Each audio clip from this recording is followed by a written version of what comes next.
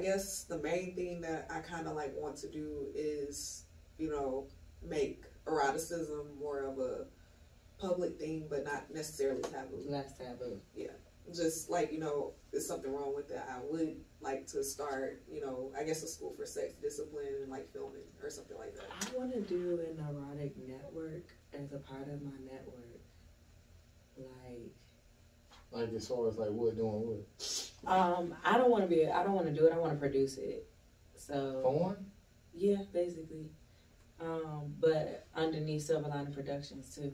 But I think it's gonna be separate because I don't want people to be like, "Dang, she a minister," you know, A minister who do who produces, porn. Well, I know Produce- some churches who had like um some strip clubs. right? Yeah.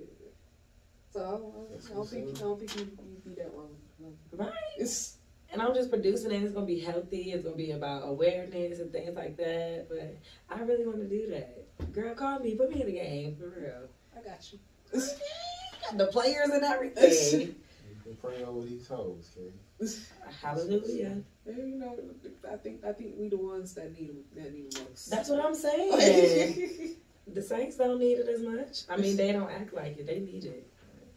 The sinners need it. Okay,